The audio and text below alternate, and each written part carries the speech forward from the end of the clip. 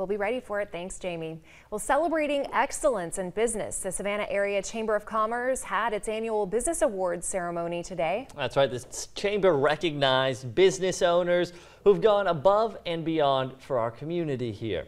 Now, as we take a look at this, some of the categories that businesses could be nominated for included Small Business of the Year, Entrepreneur of the Year, and Environmental Excellence Awards. The Chamber's Small Business and Events Manager, Connie Reynolds, says some of the awards have been long overdue. This is our first time back in two years, so we're so glad to be back together and to recognize the businesses who we haven't been able to recognize in the past few years. If you have a business you would like to nominate in the future, head to our website, WTOC.com. We'll have a link for that on this story.